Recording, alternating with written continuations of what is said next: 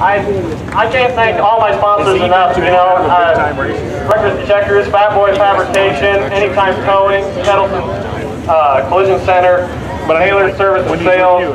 What's the uh, race you've Hogan. I mean, I'm sure I'm missing some. This this Eliminator chassis, I've, since I'm keeping it in one piece, knock on wood, Do it is it's working. So. Well, I appreciate that. You put on a good show again tonight. I mean- I mean, has been and next week, maybe weekly we'll pick up that thousand dollar win. Yeah, uh, I'm gonna give her a, a hell of a shot anyway, but I gotta send a thank you out to my crew. They, they make this possible, really. Uh, without them, I, I wouldn't get the car put back together as quick as I do. So. Thanks, Dave. Thanks, Riley. Does that mean you like Hey, the Grandma.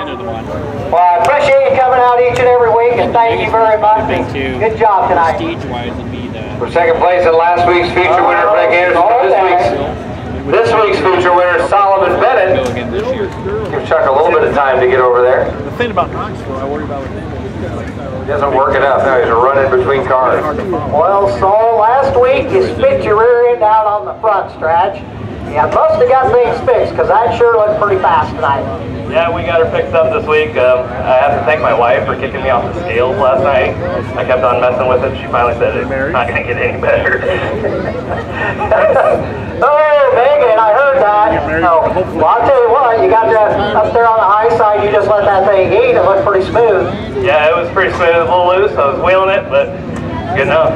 So who do you want to thank on this car right here besides Megan? Oh, everyone, uh, Lakeshore Dentistry, uh, Stew Hansen Hyundai, um, Hit Concrete, Get him doing that. Tobacco, Laser Expressions, IFS, everyone. Anyone I missed? My wife.